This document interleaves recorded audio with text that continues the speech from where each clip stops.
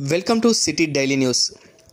Deepavali పండుగను పురస్కరించుకొని Congress MLA అభ్యర్థి కొక్కిరాల ప్రేమ్సాగర్ రావు లక్షడిపేట పట్టణంలోని ఉత్కూర్ చౌరస్తా నుండి పాత బస్టాండ్ వరకు ఇరువైపులా వ్యాపారస్తుల దుక దుకాణానికి వెళ్ళి దీపావళి పండగ శుభాకాంక్షలు తెలిపారు. రానున్న ఎన్నికల్లో తనకు ఈసారి అవకాశం ఇవ్వాలని కాంగ్రెస్ పార్టీ చేయి గుర్తుకు ఓటు వేయాలని వ్యాపారస్తులను ఓటర్లను అభ్యర్థించారు.